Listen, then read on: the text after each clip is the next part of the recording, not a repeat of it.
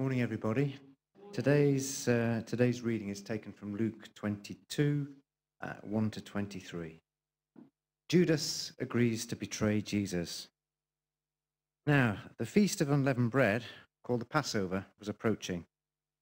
And the chief priests and the teachers of the law were looking for some way to get rid of Jesus, for they were afraid of the people.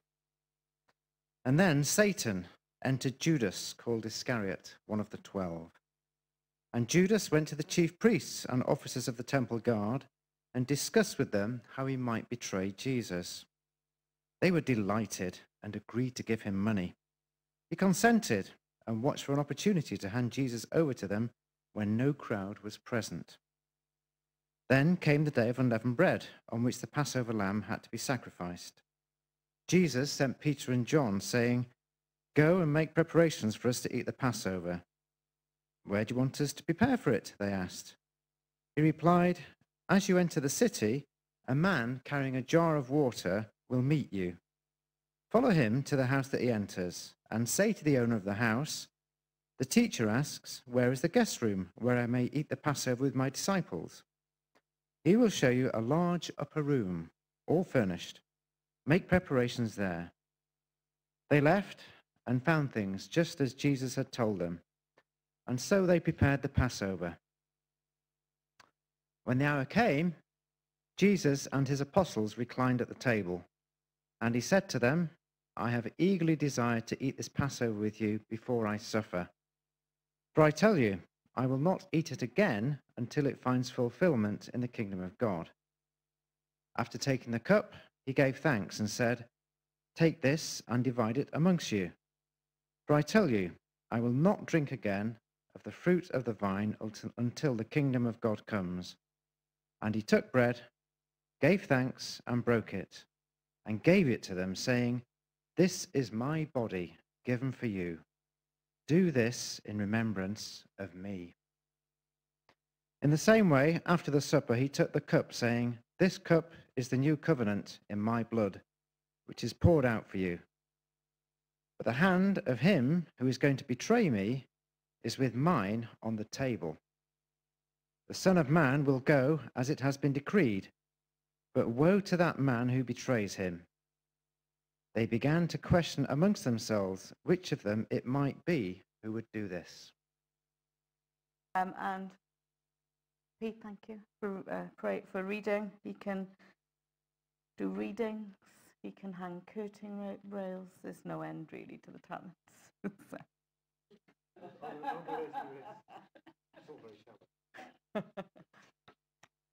I don't know uh, about you, but I find it really hard at the moment to watch the news. There's not a bit of good news there.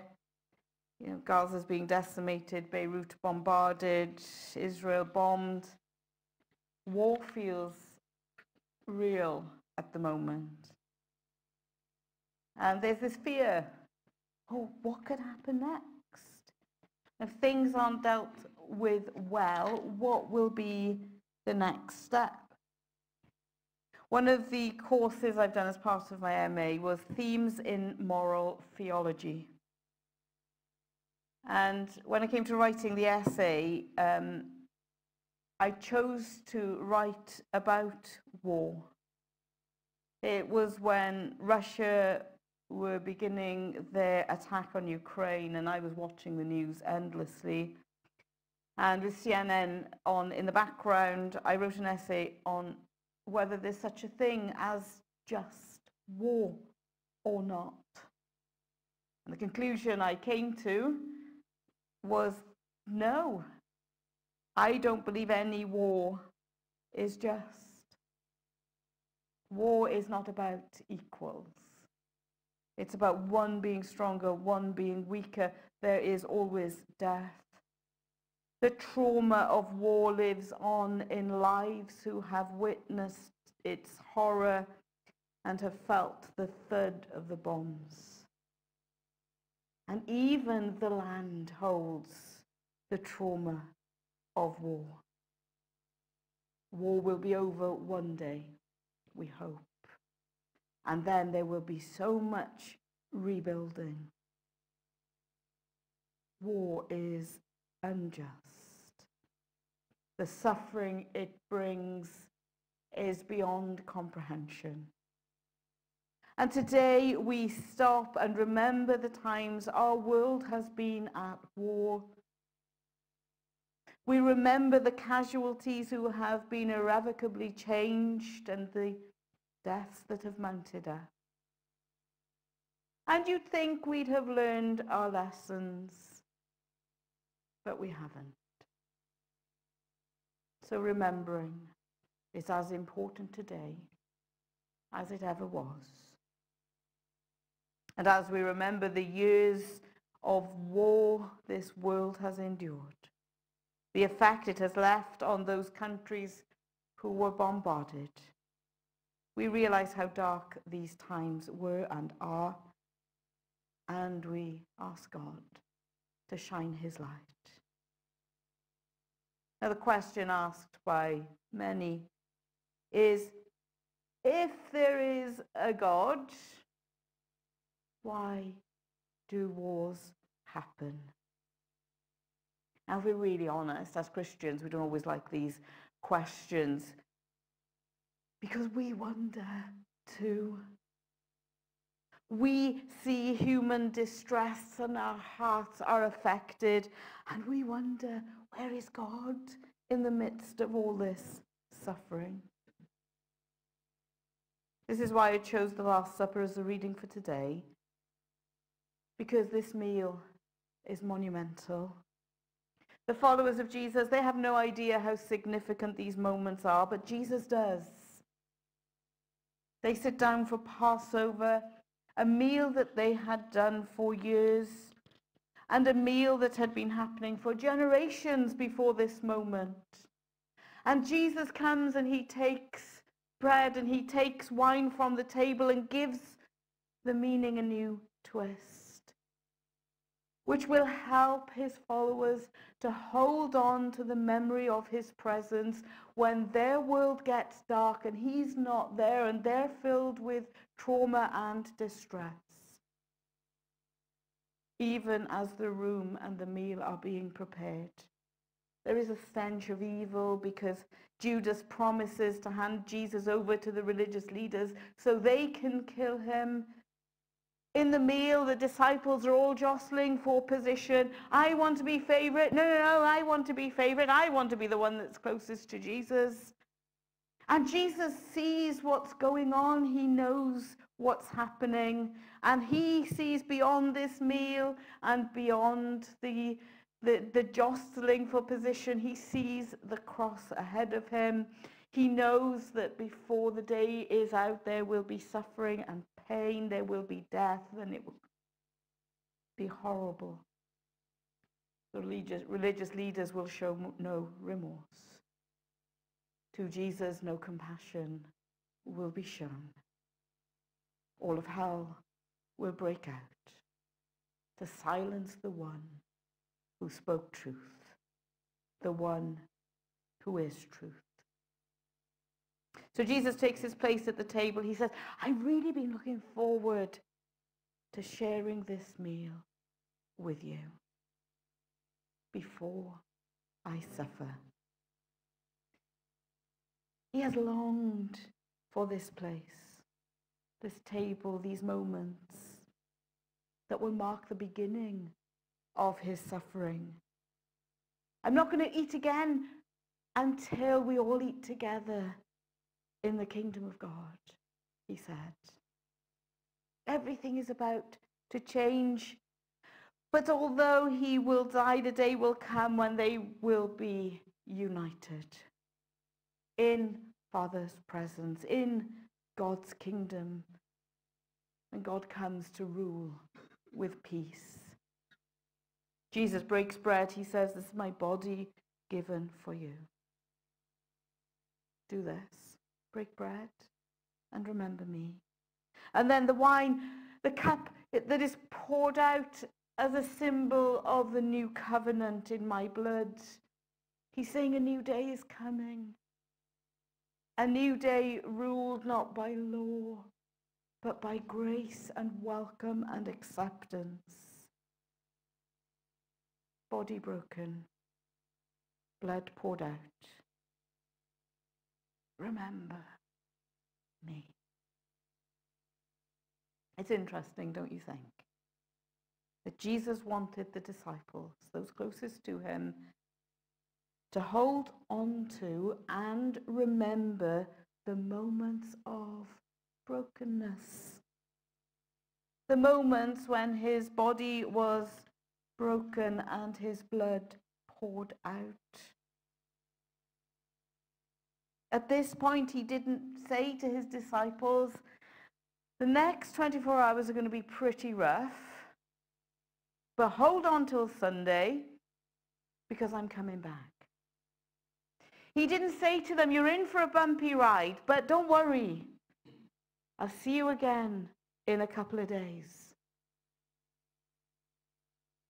He could have, but he didn't. Jesus says, remember the brokenness, remember the suffering, remember the trauma and the horror and the cross. And when he cried, It is finished from the cross, I think he spoke for everybody because that was him ended. I think everything Jesus did was intentional. He knew what he was saying, he knew what he was doing. And I think he wanted those who suffered, and we all suffer, so he wanted us to know that he understands suffering in a way no one else does. He understands trauma because he was traumatized. He understands being out of control because the world around you works against you. He understands the unfairness and the injustice of war because his death was brought about by unfair trials and lies and deception. Now, in Christian circles, we know how easy it is to jump from Good Friday, to jump from the cross to the resurrection. Even before Good Friday is at an end, we're wishing everybody happy Easter because we want to move past the pain and the death. We want to celebrate the life. But I want to suggest that Jesus wants us to linger with his pain. Why else would he leave symbols of his broken body and his blood poured out? Why else would he make the request for remembrance in a meal rooted in, in, betrayal and disappointment that ended with crucifixion? Perhaps it's because more often than not, the experience of the world is pain and heartache.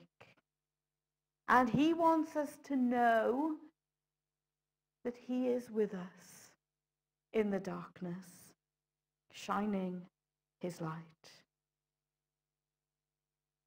We know from the stories we've heard, from the books we've read, and the history we've been taught, war is dark and difficult. Lives are expendable so that the victor can be victorious. Regardless of what side you fight for, your journey home is not guaranteed. Where is God when the suffering is that intense? This Last Supper, the cross, the brutality of the death, it shows us when it gets that intense. Jesus suffers with us in the midst of the darkness. He is with us at our darkest moment, not as our companion, remote and detached from our pain, but as one who understands. He gets it. And in the darkness, he's given us bread, he's given us juice to drink, and he says, remember me. And of course, as Christians, we hold on to the wonderful hope. Death is never the end. Because of the resurrection, we hold on to the truth of light shining into darkness, of hope replacing despair, and life emerging from the place of death. However, we may just need to stay in the pain for a little longer. I wish war would end and peace would come. It doesn't always. So in the darkness, I invite you to hold on to the one who knows all things.